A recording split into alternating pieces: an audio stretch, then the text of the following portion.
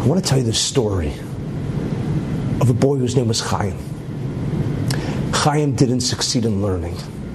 Chaim came from a difficult background. He was orphaned at a young age. And one day, his mother decides it's enough.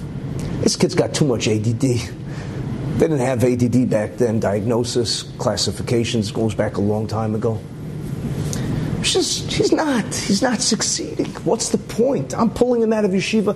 I need help supporting the family.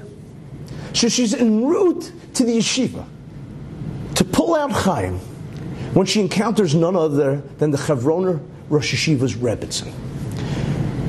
So she's a widow, Chaim's mother, and she says, Where are you going on this beautiful day?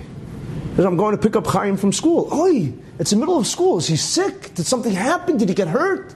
No, no, no, Baruch Hashem, he's fine. So why are you taking him out of school in the middle of the day? Oh, he's had it with school. It's enough. Time for him to go to work and support the family. He's just not succeeding. He can't become a Talmid Chacham. There's no point. It's futile. And the Rebbitzin says to her, No, no. We sing Kriya Shema every single day.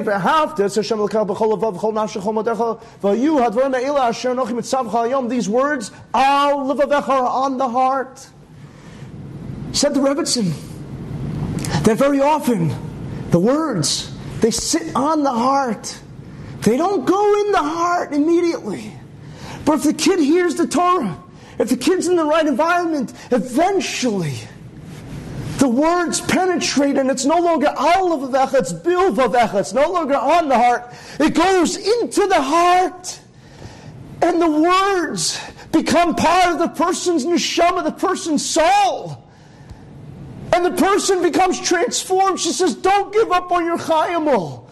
Al levavecha, now it's on his heart, but it will go inside. Give it some more time. He could become great. And the mother was so taken. She says, Okay. She left him in yeshiva. But Chaim knew that it was almost the end of his learning career. And the next day he decided, I'm going to try harder. I'm going to plug away. I'm going to cry. Hashem, open my heart. Open my mind. Open my soul. And he grew and grew and grew to the extent that he became a Talmid of Rav Chaim Shmulevitz. Became a Talmid of Rav Lazer Yudel. And he was so exceptional that Rav Lazer Yudel said to him, you know, there's a boy that came from America, boy that loves basketball, an athlete. I need help with him. I need a Rebbe for him that could guide him, that could encourage him, that could catapult him and make him great. Will you be his Rebbe? And Chaim said, Yeah. Reb Chaim became the Rebbe of none other than the greatest builder of Torah in the world, in the history of the world, none other than Rav Nosson Tzvi Finkel, who built the empire of the Mir Yeshiva, thousands and thousands of students, despite putting up with the worst health conditions.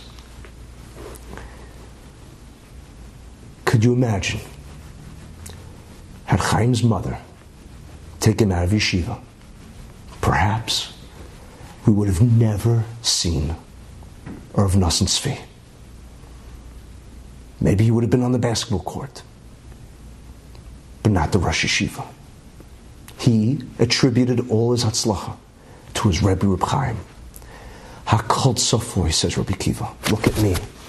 You think everything's determined? Harushus Nesuna. It's up to you. What will you make of your life? Will you convert a difficult life circumstance into an opportunity for greatness?